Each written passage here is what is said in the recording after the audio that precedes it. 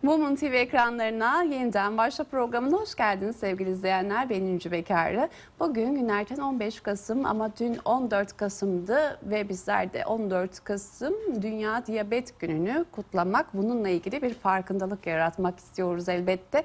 Ee, sizler de belki dün farkına varmadıysanız bugün sizler için bir farkındalık olsun. Elbette tabii ki bu güzel, önemli günleri kutlamak babında söylemiyoruz. Farkındalık yaratmak anlamında e, paylaşıyoruz bu durumu. Çünkü belki şu an sizler de izlerken siz de gidip e, bir şeker kontrolü yaptırabilirsiniz. Özellikle de aile genetiğinizde varsa zaten mutlaka yaptırmanız gerekiyor kontrollerinizi sık sık. Buna dair bir konu konuşacağız elbette. E, özellikle de çok güzel bir proje var. Şekersiz Tatlı Hayat projesi.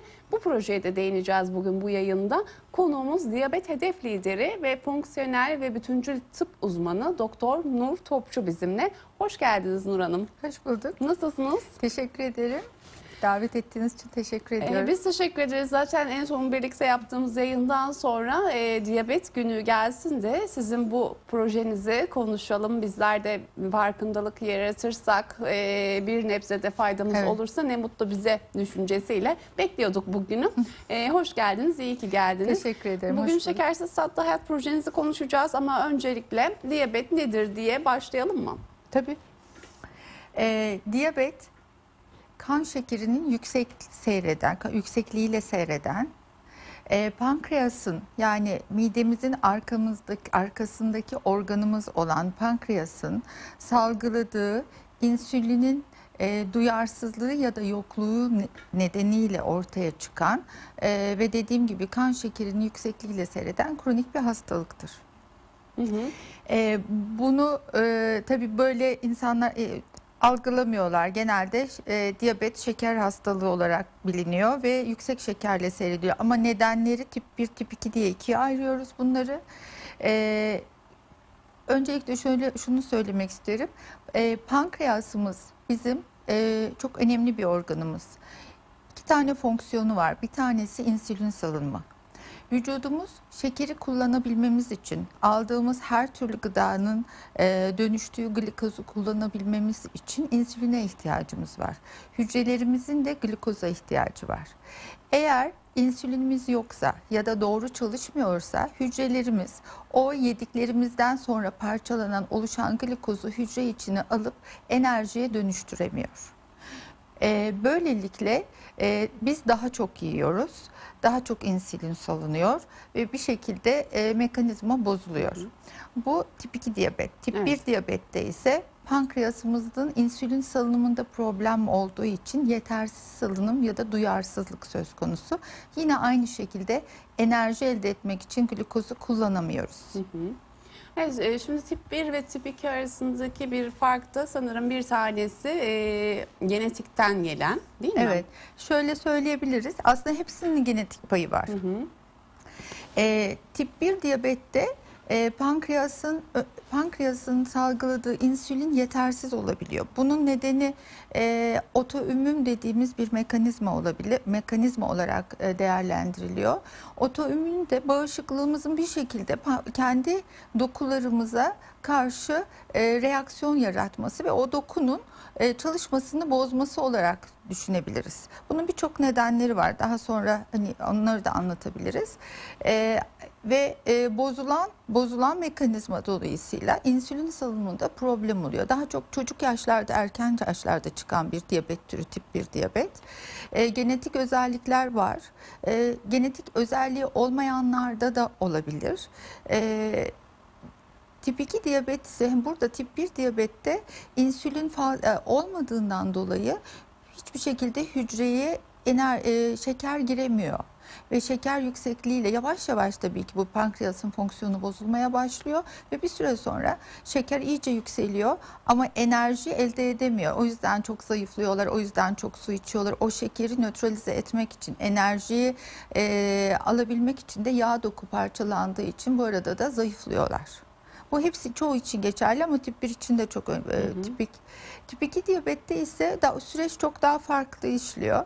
Ee, yine insülin ön planda Ama bu burada insülinin şekeri hücre içine sokamaması diye bir şey var. Birçok nedenleri var bunun. İşte biz buna hatta insülin direnci diye duymuşsunuzdur. İnsülin Evet. direnci diyoruz. Temelinde o var. Ee, insülin salınıyor ama alıp şekeri yap- şekere yapışıp hücre içine sokamıyor şekeri. Böylece enerji elde edilemiyor ve mevcut olan şeker tekrar yağa dönüşüyor. Ve bir, bir sonraki seferde e, yine şekeri sokabilmek için biraz daha insülin salgılanıyor. Ve bu bu kısır döngü sonrasında e, mekanizma tam işleyemediği için, doğru çalışamadığı için şeker yükselmeye başlıyor. Ve önce tokluk şekeri başlıyor, açlık şekerinde küçük bozulmalar oluşuyor ve tip 2 diyabet oluşuyor. Evet peki diyabetten nasıl korunabiliriz? Ee, şi- şimdi tip 1 diyabet için konuşursak bunun için en önemlisi herhalde e, otoimmün mekanizmalardan kendimizi koruyabilmek. Zaten genetik yapımızda varsa bunun içine birçok şey girebiliyor. Otoimmüniteyi engellemek için e, bağışıklık sistemimizi bozan kök nedenleri düzeltmek ya da onların bozulmasına engel olmak için önlemler almak lazım. Hepsinin orta zaman ortasında beslenme var. Doğru beslenme, e, doğru gıda gibi. Tip 2 diyabetten ise ama sonuçta şöyle bir şey söyleyebiliriz. Tabii ki tip 1 diyabetin hani kimde nasıl çıkacağını kestirmek zor. Ama önemli olan e, hamilelikte bile e, işte çocuğunuzu yetiştirirken de doğru bir şekilde beslemek bir nebze otoimmüniteyi kontrol edebilir. Ee, ama tip 2 diyabette ise insülin direnci önlenebilir. Çünkü insülin direncinin esas nedenlerinden, en büyük nedenlerinden biri tamam genetik potansiyel var. Bir takım genetik farklılıklar, epigenetik dediğimiz farklılıklar bu insülin direncine kişisel meyiller olabilir. Ama bunlar kontrol edilebilir nedenlerdir. Nasıl kontrol edebiliyoruz? Öncelikle diyeti diyetle yani nasıl beslendiğimiz hatta ne yediğimiz ve nasıl yediğimiz de önemli. Ne kadar yediğimizden çok. Ee, hayat tarzı değişiklikleri, uykumuz, egzersizimiz, hareketli olup olmadığımız. Evet stres ama şimdi böyle dendiği zaman zaten her şey stres deniyor. Evet. Ama stresi yönetebilme e, şeklimiz de çok önemli. Aslında bazen şimdi hep söylediğimiz bir laf vardır ya e, özellikle pandemi dönemi çok söyledik. İşte işte kimimiz işte ekonomik anlamda güçlükler çektik. Çünkü iş kayıpları yaşandı maddi olarak ekonomi de oydu buydu. Ama hep dediğimiz bir laf var. Olsun sağlığımız yerinde çok şükür. Şimdi sağlığımız yerinde çok şükür diyoruz ama e, ruh sağlığımızı yönetemezsek eğer bütün sağlık problemleri de oradan çıkıyor. Yani şimdi diyabeti konuşuyoruz Evet. aslında baktığımızda başlangıç noktasına hepsi e, sinir, stresin birikmesi sonucu oluşuyor. Tabii mevcut stres her zaman Tabii. e, bir takım yani fizyolojik nedenler %50 ise %50 de psikolojik O nedenler. yüzden bir yandan da şimdi önemli olan öncelikle ruh sağlığımızı korumak ki sanırım e, %50 %50 Değil mi? diyelim. Bedensel sağlığımız, fiziksel sağlığımız da devam edebilsin. Ben hep derim mesela benim reflüm vardır ama derim ki hiçbir zaman e, gazlı, işte tabii ki önermiyorsunuz elbette gazlı, acı, çok acı yerim mesela. Hiçbiri reflüme zarar vermez. Sinir, stresin verdiği kadar. Ee, evet. Ee, dediğim gibi bunları yönetebilme, stresi yönetebilme, doğru yaşam şekli, sağlıklı yaşam koşulları. Şimdi herkes için işte belli bir e, burada da şöyle bir tepki alıyoruz. İşte her şey çok mu sağlıklı biz bu ortamda mümkün olduğunca doğru seçine- seçenekleri kullanarak, e, beslenerek, beslenmede de öyle. İşte örnek olarak minimum paketli gıda diyoruz, şekersiz hayat diyoruz. Ee, karbonhidratı minimuma indirmekten bahsediyoruz. İşte biz fonksiyonel tıpçılar glutenden uzak diyoruz gibi. Ee, bir takım doğru beslenme alışkanlıklarını elde etmek, e, doğru egzersizi yapmak kend- e, ve aynı zamanda da e, minimum stres dediğimiz derken stresi yönetebilmek, e, alışkanlığı edinebilmek gibi e, insülin direncini tetikleyen e, etkenleri kontrol edebiliriz. Biz bunları kontrol ettiğimiz zaman tabii bunlar arasında doğru tetkik, doğru tanı bunları da çok önemli. Ee, ek, mikrobesin eksiklikleri, vitamin ek ve mineral eksikliklerinin yerine konması da çok önemli. Bütün bunları yaptığımız zaman insülin direncini kontrol edebilir hale gelebiliriz. Çünkü en e, insülin direncini kontrol ettiğimiz zaman obeziteyi de kontrol edebiliriz. Yani bu e, birçok şey birlikte geliyor. E, İşte insülin direncin olan hastalarda iki kat kardiyovasküler sistem e, hastalık riski taşıyor. Kalp hastalığı riskini de böylelikle bir, şekilde kontrol edebiliriz. Yani yalnızca diyabet değil, bununla birlikte olabilecek insülin direncinin neden olabileceği birçok kronik hastalığı da kontrol edebilir hale gelebiliriz. Evet. Şimdi tabii diyabetten korunmak için birçok şey var. Şekerden uzak durmak gerektiği gibi e, en büyük düşmanlarından bir tanesi alkoldür diyebilir miyiz diyabetin? Ee, tabii ki alkol orada e, detoksifikasyon mekanizmasını bozuyor. E, glikoz metabolizmasında bir, e, bir takım sıkıntılar yaratıyor. Şeker dengesini bozuyor. E, yani biz fermente olanları bazen önerebiliyoruz çok nadir de olsa ama e, tabii ki alkolden de uzak durmamız gerekiyor. Evet. Şimdi Şekersiz Tatlı Hayat projenizden bahsedeceğiz ama öncesinde bir videomuz var onu izleyelim.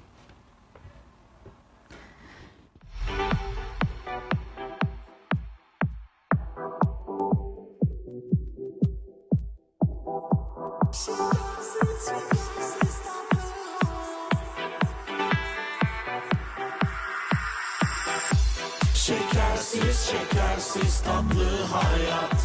Şekersiz, şekersiz tatlı hayat. Şekersiz, şekersiz tatlı hayat. Şekersiz, şekersiz tatlı hayat. Bir bile bilsen, fark edebilsen. Azmedebilsen, şekeri hiç kullanmasan da olur. Kontrolünü hiç aksatma. Bak güzel günler yakında yapacağını korkmadan tüketmek. O zaman sen de dans et ve hareket et. Ömrünü sağlıklı geçirerek rahat et. Zaman çizelgen de olmasın kasvet. Şekerli yaşam bir tür esaret. Diyabeti yenmek için hareket et. Hareket et, hareket et. Dans et, hareket et, hareket et. Dans et, dans et, dans et, dans et. Şekersiz, şekersiz tatlı hayat. Şekersiz, şekersiz tatlı hayat. Şekersiz, şekersiz tatlı hayat. Şekersiz, şekersiz tatlı hayat. Evet, şimdi Şekersiz Tatlı Hayat'ın e, küçük bir klibi vardı. Onu Evet. izledik. Bu projeden biraz bahsedebilir misiniz? Kimler yer aldı bu projede? Nasıl oluştu? Evet, e, Şekersiz Tatlı Hayat Projesi 118'ye e, Anadolu Yakası Lyons Fe- e, Federasyonu'la Türk Diyabet Vakfı ortak projesidir. E, diyabetle mücadele e, uluslararası e, Lyons kulüplerin federasyonlarının ana hedeflerinden birisidir. E, bizler de Türk Diyabet Vakfı ile oluşturduğumuz protokol gereği, hizmet protokolü gereği e, geçen yıl e, Türk Diyabet Vakfı'na bir eğitim aracı bağışlandık. Bağışlarla yaptık. Ve bu eğitim aracını hem kullanmak, halka eğitmek, e, diyabet farkındalığını arttırmak.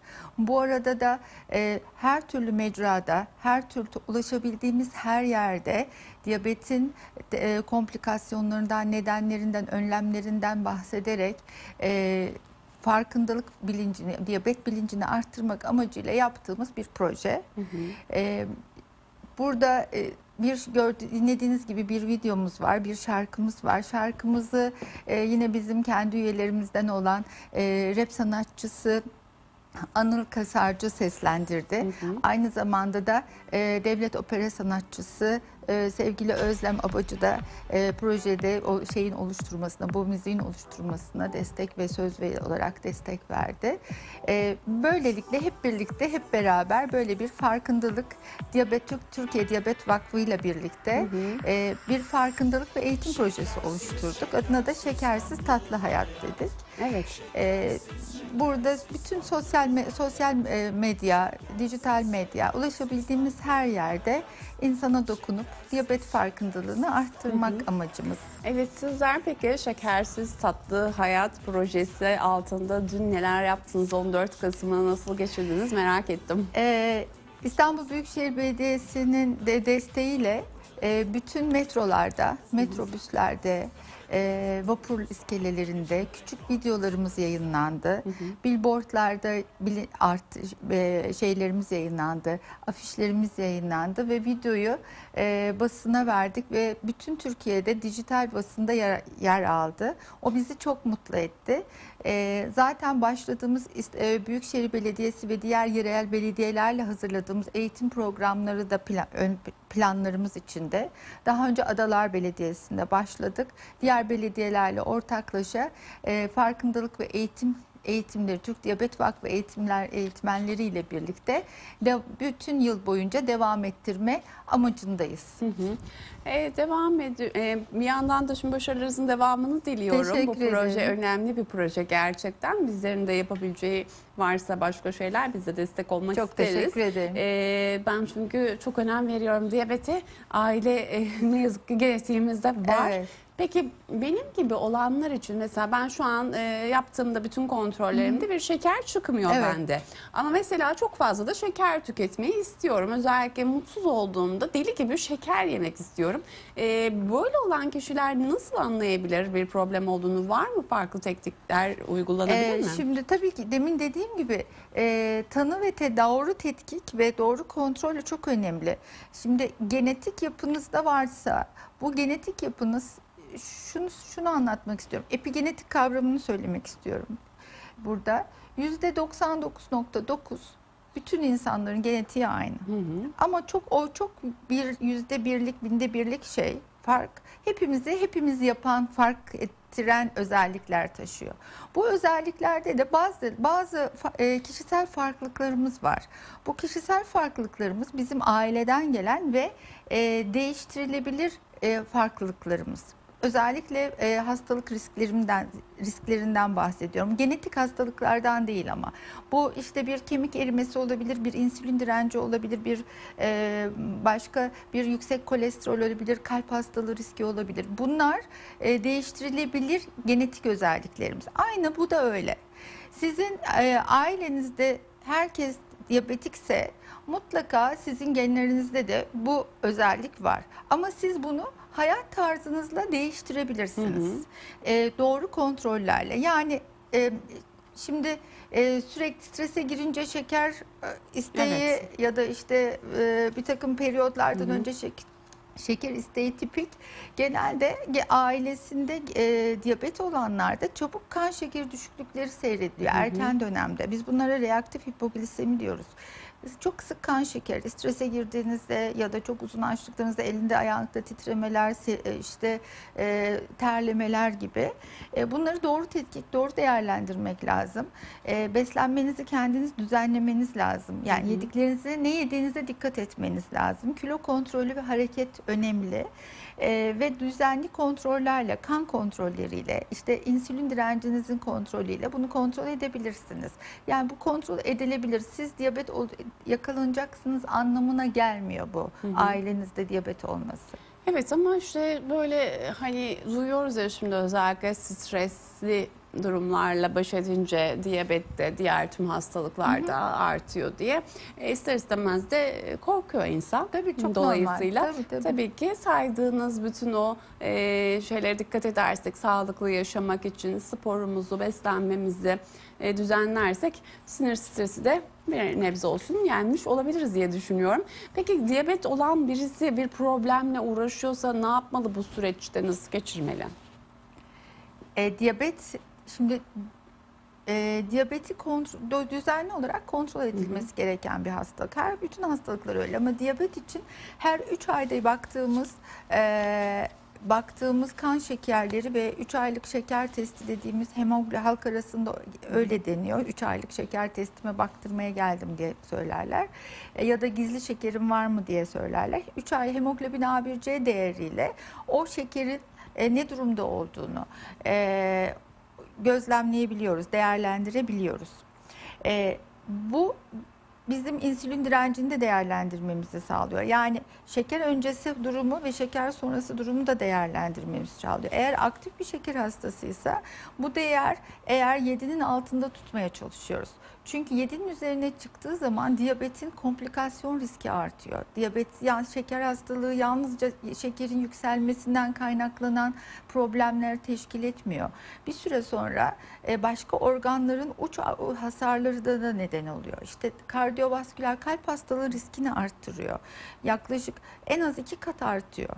E, böbrek tutulumuyla böbrek fonksiyonunu bozul- bozulabiliyor. Duyarsınız işte diyalize giren birçok hasta var diyabetik hastalardan. Göz gözü bozuyor. E, reti- göz e, sinirini etkiliyor. Bütün bunların hepsi en baştaki nedeni diğer si- sistemleri etkilemesi. Ne olabilir? Bunlar sinir sistemi olabilir. Sinirleri etkileyerek göz sinirini etkiliyor. Görme bozukluk görme bozuklukları işte göz dibinde kanamalar oluşabiliyor. Ee, onun haricinde böbrek fonksiyonunu bozabiliyor, böbrek yetmezliği oluşabiliyor. Yine nöropati dediğimiz uç organ hasarları, his kaybı oluşuyor. Hastada yaralar açılıyor, hissetmiyor. Şeker yüksek olduğu için de e, yaralar kapanmıyor. Onu da duyarsınız diyabetli insanlarda şeker şekerden ayağı kesildi diye duyabilirsiniz. Bütün bunlar bu şeker hastalığının kontrolsüz şekerin uç organ hasarlarının e, sonuçları. Evet, ay Allah korusun o kısım çok kötü gerçekten ayakla ilgili problemler e, Evet. çok fazla ortaya çıkabiliyor diyabetten sonra. Yani bütün bütün e, organlar için geçerli. İyileşmeyen yaralar kontrolsüz şekerle e, organ kayıplarına ya da işte ekstremite kayıplarına neden olabilirler. E, peki diyabetin kesin bir tedavisi var mıdır? Şimdi diyabetin kesin bir tedavisi yok. E, ama kontrol edilebilir e, tedavi. Kont- bunu kontrol etmek için bir takım tedaviler var. E, dediğim gibi en önemlisi bunu o hale gelmeden kontrol edilebilir ya da önlenebilir düzeyde, önlenebilir diyebiliriz belki. Kontrol edilebilir ya da tedavisi yok değil, önlenebilir bir hastalık diyebiliriz. Eğer doğru e, ko- e, doğru önlemler alınırsa. Diyabet olduktan sonra tip 1 diyabet için konuştuğumuzda tip 1 diyabette insülin e, pankreas insülin salgılamıyor. Bir süre sonra yavaş yavaş o rezervi bozuluyor.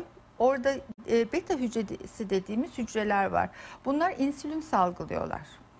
Bir süre sonra bu e, tip 1 diyabetlerde vücut kendisi pankreasın insülin salmasını engel alıyor. Ve artık insülinsiz bir e, o- hayat olması gerekiyor ama o mümkün değil. İnsülinsiz yaşayamayız hiçbirimiz. Bu yüzden de dışarıdan insülin alması gerekiyor tip 1 diyabetlilerin.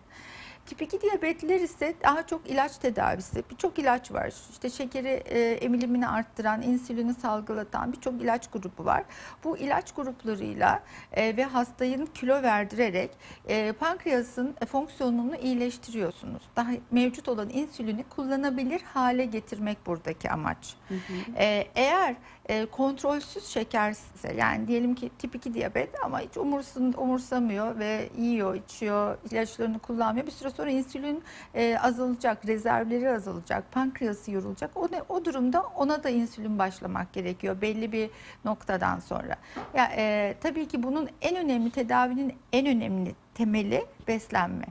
Eğer doğru beslenmiyorsa kişi istediği insülini olabilir. Sonuçta yine kontrol edilemez. Sonuçlarına e, maruz kalacaktır. Evet. Bir, bir yandan da şimdi gizli şeker var. Özellikle hamilelikte şeker yüklemesi yapılıyor ve bir dönem yapılsın yapılmasın tartışmaları olmuştu bununla Evet. ilgili de. Ee, siz ne düşünüyorsunuz bu konuyla alakalı? Şimdi gebelik şekeri e, genelde e, taramalarla ortaya çıkıyor. E, ben açıkçası e, endokrinolog değilim ama e, yapılmamasını çok doğru bulmuyorum. Çünkü e, diyabetik diyabetik e, çocuklar ayrı bir riskle doğuyorlar. O yüzden eğer risk varsa, annenin böyle bir riski varsa e, bunu kontrol etmek gerekiyor. Çok doğru. Yani ben de öyle düşünüyorum. Ee, yaptırmıştım çünkü bir de özellikle genetikte olan insanların hiç düşünmeden yaptırması gerekiyor sanki Ee, değil mi? Evet ama sonuçta gebelik kontrolleri sırasında zaten e, e, kontrol eden hekim bunu öngörüyor ve e, Evet. şey yapıyor, öneriyor. Peki gizli şeker nedir? Belirtileri nelerdir? E, gizli şeker dediğimiz e, demin anlattığım gibi tip 2 diyabetin başlangıç evresinde daha doğrusu e, prediyabet dediğimiz diyabet öncesi dönemde e, yediklerimizi pank e, insülinimiz şöyle anlatayım. Yemek yiyoruz. Hastalara da böyle anlatıyoruz. Yemek yiyoruz. Yemek yediğimiz zaman ne yersek yiyelim o glukoza dönüşüyor. Glukoza dönüştüğü zaman e, pankreas uyarılıyor ve oradan insülin geliyor şekere yapışıyor. Ben böyle anlatıyorum hastalara. Daha sonra onun kullanabilmesi için yani doyabilmemiz için, enerji üretebilmemiz için o insülin e, hücreye yapış hücrenin kapısına gelip çalıyor.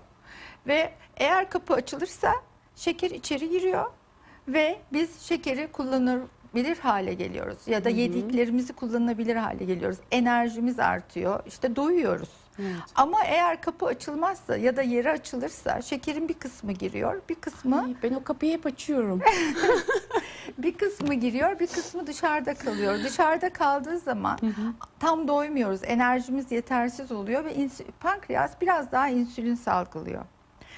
Ee, ve fazla şekerde yağ dönüşüyor. Böylece bir kısır döngü oluşuyor. Hem bir yerden ya- e, vücutta yağlanma özellikle göbek etrafında yağlanma başlarken bir yerden de her geçen gün insülin daha fazla artıyor. Çünkü içeri girmesi kapı daha zor açılıyor. Ee, bu noktada gizli şeker başlıyor. Evet. Bir süre sonra e, bir süre sonra artık şeker yağa da dönüşse düşmüyor. Normal standarda düşe, düşüremiyor vücut onu. Öyle olduğu zaman biz buna gizli şeker bu, bu noktada başlıyor. Ee, gizli şeker dediğimiz daha çok e, açlık şekerinin e, 100 ile 125 arasında, tokluk şekerinin ise 140 ve üzerinde olması hali, prediyabet hali gizli şeker. Evet. Ee, o zaman yine o civarlarda Burada kontrol çıktıysa edilebiliriz. Bu noktada kontrol, yaşam tarzıyla işte bir takım belki e, şekeri kullanılabilir hale getirebilecek o kapıyı açacak ilaçlarla e, bunu ve diyetle ve hareketle ve hastaya yağ kilo verdirerek, o yağ dokuyu çözdürerek, e, kilo verdirerek bu, bunu önlenebiliriz. Yani bu noktada diyabet olmasına engel olabiliriz. Ama bundan sonra zor. Evet. Peki son olarak 14 Kasım e, Diyabet Farkındalık Günü için sizlerin söylemek istediğiniz bir mesajınız var mıdır? Ee, videoda söylüyoruz zaten. Hareket edelim, doğru beslenelim, ee, kontrol edelim, diyabeti fark edelim ve şekersiz yaşayalım.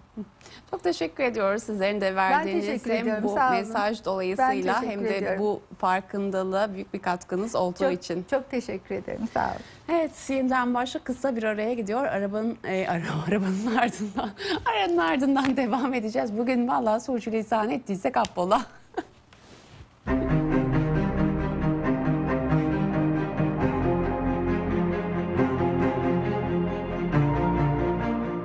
Samiye Cahit Morkaya, Türkiye'nin ilk kadın otomobil yarışçısı. Türkiye'nin ilk ehliyetli kadın sürücüsüdür. Katıldığı yarışlarda dereceye girdi. İlk defa birinci olduğunda sırf kadın olduğu için yarışın iptal edilmesini istediler. Onun sayesinde 1932 yılında mahkeme tutanaklarına bir kadın da otomobil yarışlarına katılabilir ve birinci gelebilir kaydı geçti. Fatma Aliye Topuz, kadın hakları öncüsü ve romancı. Osmanlı İmparatorluğu'nun ilk profesyonel kadın romancısıdır. Batılı kıyafetlerle kamusal hayatta boy gösteren ilk kadınlardan biridir. Yazar, çevirmen ve romancı olarak sürdürdüğü kariyeri boyunca sosyal sorumluluğunu da yerine getirmeye özen göstermiştir. Hilali Ahmer Cemiyeti'ne üye olan ilk kadındır. Hatice Nüset Gökdoğan, gökbilimci.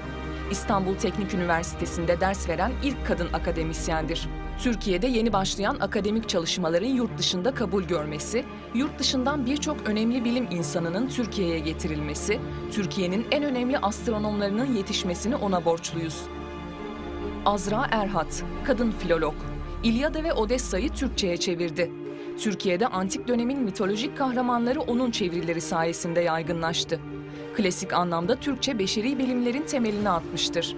Mavi yolculuk kavramını bizimle tanıştırdı. Neden ölmeden önce bu yolculuğa çıkmak sorularının cevabı onun yazılarının ana konusu oldu. Bediye Muvahhid, tiyatro öncüsü.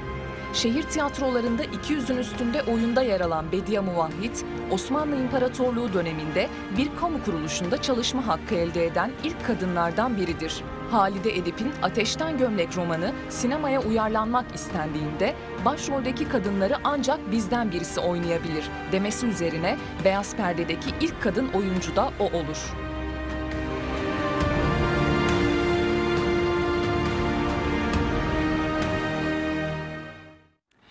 Evet yeniden başta devam ediyor. Şimdi tabii ki diyabetten uzaklaşmadan bu konuyu değinmeye devam edeceğiz. Konuğumuz uzman diyetisyen Dilan Eker bizimle.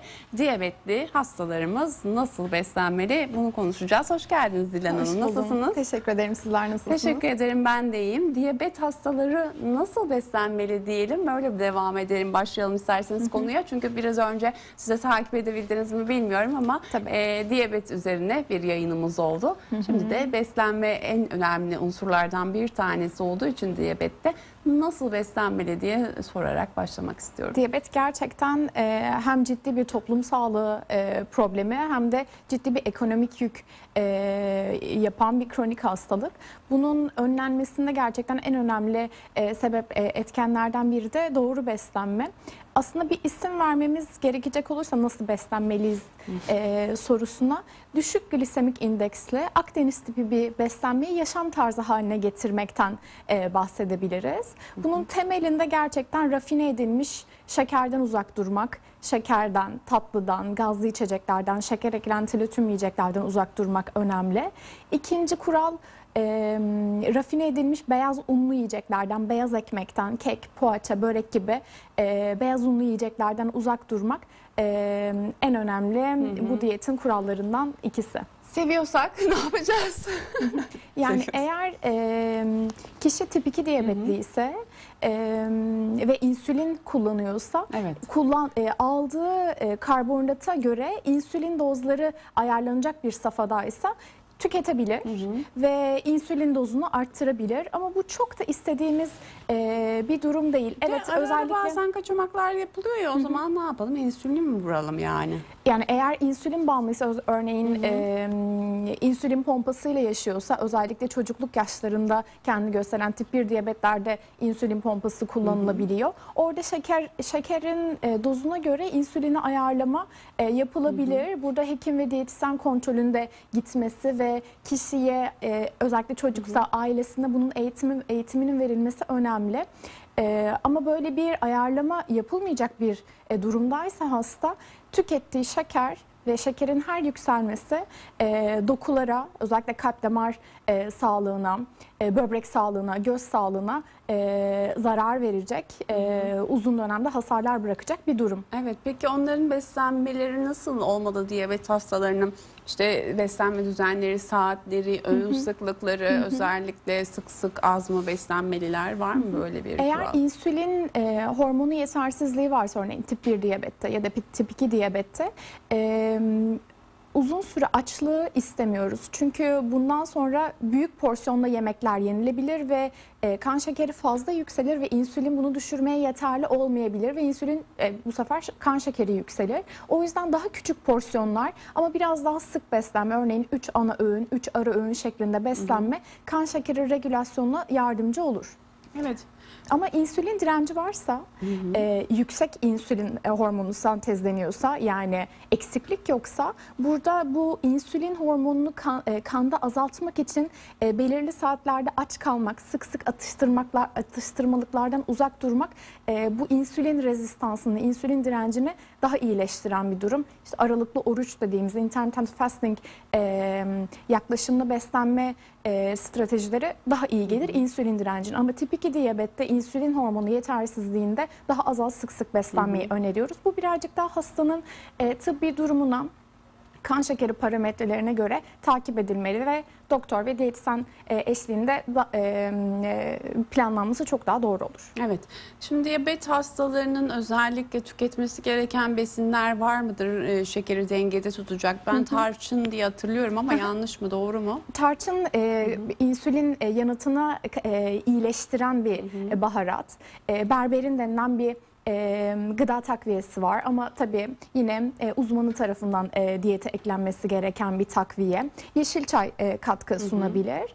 E, ama bu fitokimyasalların faydalarının yanı sıra e, diyetin posa içeriği, lif içeriği de çok önemlidir. Çünkü e, diyetin posası, lifi yüksekse e, kan şekerini, o gıdanın kan şekerini yükseltme hızı daha yavaş olur. Daha e, yavaş yükseltir ve daha uzun süre kan şekerini belli bir seviyede tutulmasına yardımcı olur posalı yiyecekler. O yüzden mutlaka diyetin posasının yüksek olmasını istiyoruz. Evet peki diyabet hastalarının tatlandırıcı e, kullandıklarını görüyoruz zaman zaman. Kullanmalılar mı yoksa bir ara tatlandırıcıların da aslında zararlı olduğu söylendi diye hatırlıyorum ama. Yani kan e, tatlandırıcılar için belli aralıklar vardır, güvenli aralıklar. Bu aralıklarda tüketirseniz problem olmaz gibi ama aslında uzun dönemde etkileri çok da bilinmiyor. Tatlandırıcı kullanılacaksa daha bitkisel e, bazı doğal e, bazı tatlandırıcılar kullanılabilir. Örneğin stevia bitkisinden elde edilen stevia tatlandırıcısı gibi. Bunlar e, kullanılabilir. Tabii çok da fazla önermiyoruz. O tatlı tadına çok fazla hmm, alışkın olmak, sürekli tüketmek de istediğimiz bir durum değil. Evet diyabeti olup kilolu olan biri kilo vermek istediğinde nasıl bir diyet uygular? Ee, en azından hem kan şekerini dengeleyecek hem güçsüz düşmeyeceği bir diyet var mıdır? E, tabii ilk başta kalori açığı yapmak gerekir. Yani ihtiyacı olan harcadığı enerjiden e, bireyin 500 kalori kadar ya da 1000 kalori kadar e, bir kalori açığı yaratıp kalan al- kalori kaçı- e, açığından e, kişinin e, yağ yakımını hedefliyoruz. İlk başta kalori açığı yapmak gerekir. Ama tabii e, hem kilo vermek hem de kan şekerini e, regüle etmek için düşük glisemik indeksli beslenmesi gerekir. E, glisemik indeks besinin kan şekeri yükseltme hızıdır. Yani kan, kanı bir kan şekerini birden yükseltecek gıdalar tüketmemesi gerekiyor. İlk başta söylediğimiz gibi şeker, şekerli ürünler, un, unlu ürünler, ekmek, beyaz ekmekler bunlardan uzak durulması gerekiyor. E, örneğin bir tahıl ama bu karbonhidratsız beslenmek anlamına gelmez. E, örneğin şekeri daha e, meyveden e, almak daha doğru olabilir ama nihayetinde şekerdir. İçerisinde fitokimyasallar, lifler olsa da meyvede şeker vardır. Bunu porsiyon kontrolüyle tüketmek, e, belli aralıklarla tüketmek, örneğin gece geç saatte tüketmemek ya da 2-3 porsiyon meyvenin aynı anda tüketilmemesi gibi meyveler tüketilebilir doğru yöntemle.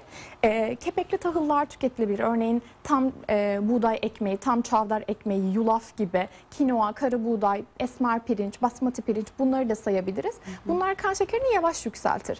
E, o yüzden kan şekerinin yüksek e, yüksekliğine çok e, sebep olmaz. Daha kepekli tahılların tüketilmesi önemlidir. Tabii kompleks karbonhidratlar dediğimiz karbonhidratların yanında yeterli sebze, yeterli protein, kaliteli yağların da içinde olduğu tam ve dengeli bir beslenme düzeni e, olması gerekiyor. Kilo verme diyetlerinde de e, ya da kilonun korunduğu diyetlerde de. Diyet dediğimizde bazen perhiz aklımıza gelir. E, aslında diyet kişinin gün içinde tükettiği gıdalardır. E, bunun bu çerçevede olması diyabet hastaları için çok önemli.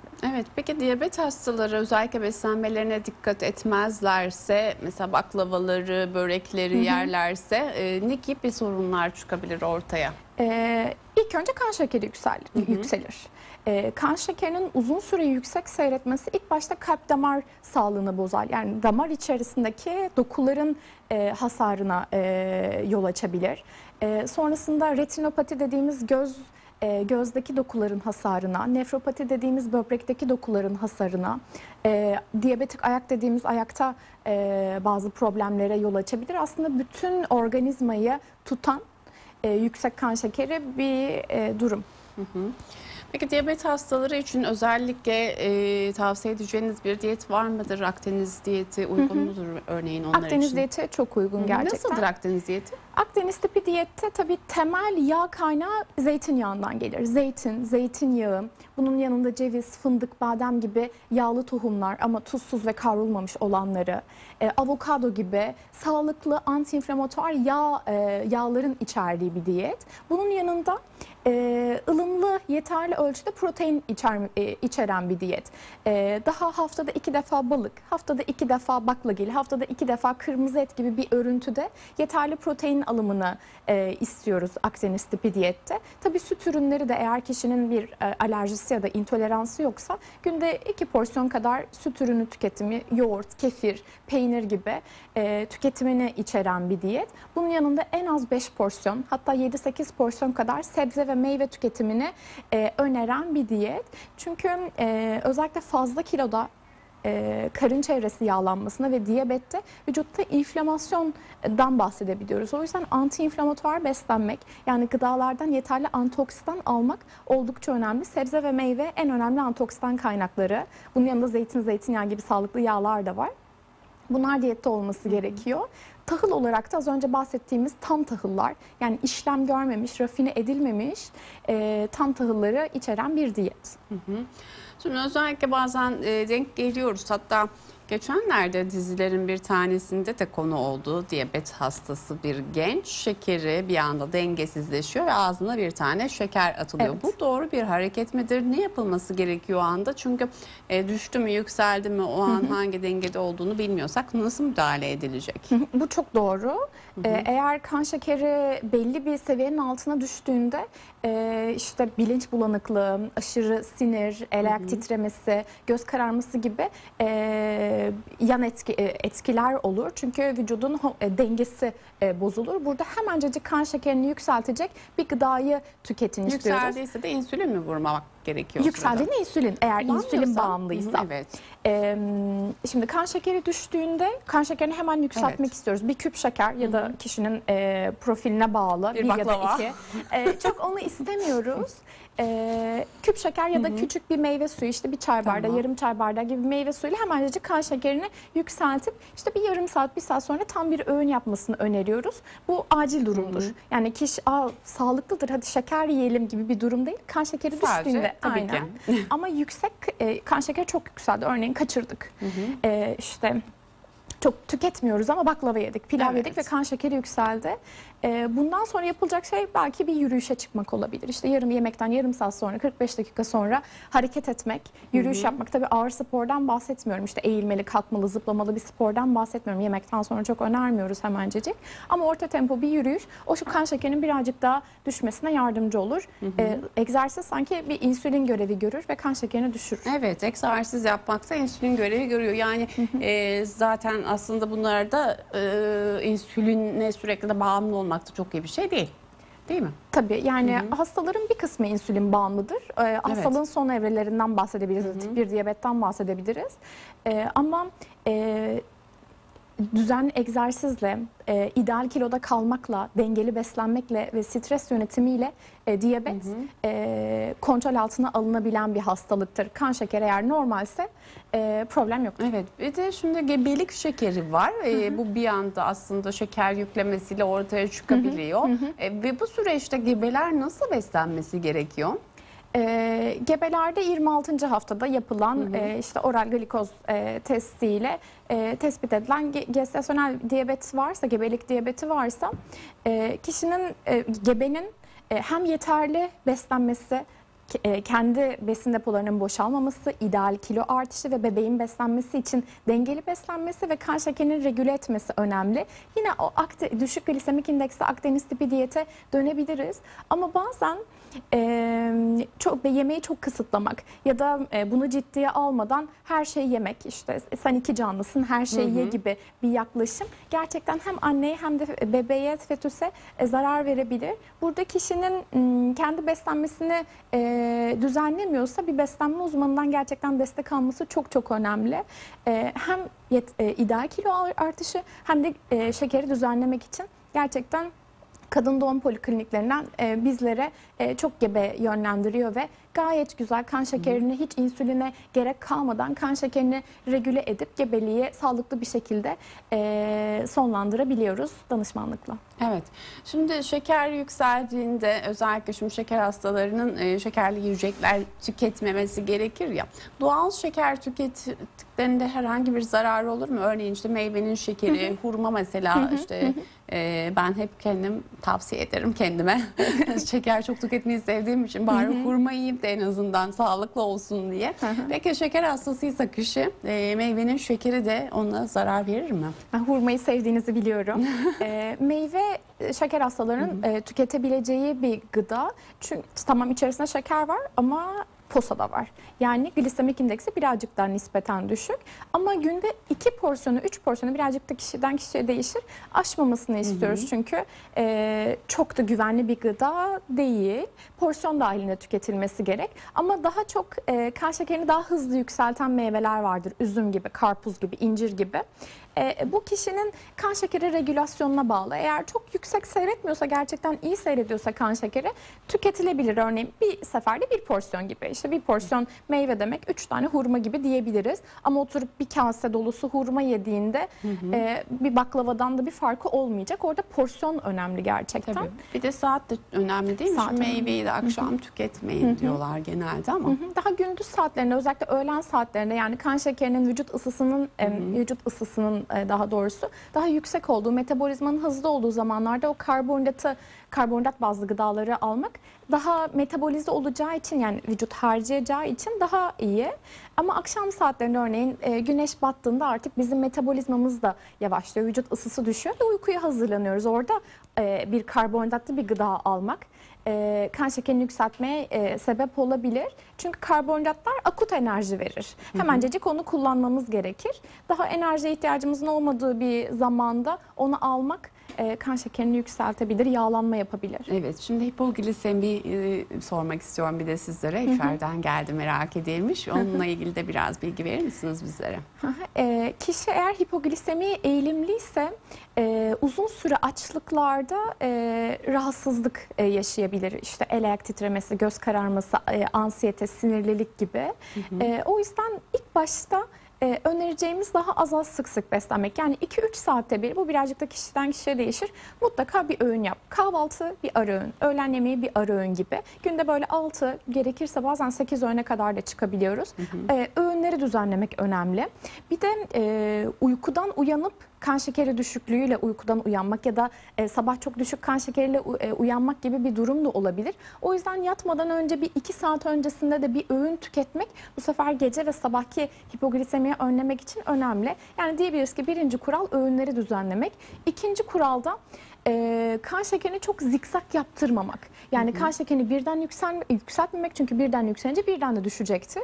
E, daha e, stabil tutacak gıdaları tüketmek. Yine her zaman söylediğimiz unlu ve şekerli gıdalar kan şekerini birden yükseltir. Sonra birden düşer hipoglisemi olur. Bunlardan uzak durmak önemli. Evet. Üç beyazdan uzak duruyoruz Evet, yani. evet. Peki son olarak diyabet hastaları için var mı sizin uyarılarınız ve önerileriniz son söylemek istedikleriniz? E, kişi eğer diyabetse ve yeterli e, ve dengeli beslenerek, sağlıklı beslenerek, düzenli egzersiz yaparak, stresi yöneterek, e, yeterli uyuyarak, uyku da çok önemli, e, kan şekerini normal düzeyde tutabilir ve e, bu sanki bir hastalık değilmiş gibi yaşamını çok kaliteli bir şekilde devam ettirebilir. Ama kişi sağlıklı yaşam tarzına bağlı kalmazsa kan şekeri yüksekliğiyle birlikte gerçekten ciddi bir metabolizma pro- e, s- hastalığına ve diğer organların da tutulmasına sebep olur. O yüzden sağlıklı yaşam tarzında kalın diye e, öneride bulunabilir. Çok teşekkür ediyorum yayınımıza geldiğiniz için ve bu farkındalığı sizler de katkıda bulunduğunuz için. Ben teşekkür ederim. Evet bugün de yeniden başlanın sonuna geldik. Dileriz sizlerin de e, kafasında bir farkındalık oluşturabilmişizdir. Varsa şüpheleriniz bugün hemen kontrole gitmenizi tavsiye ediyorum. Şeker gerçekten şakaya gelmez. Yarın tekrar aynı saatlerde görüşünceye dek hoşçakalın, mutlu kalın.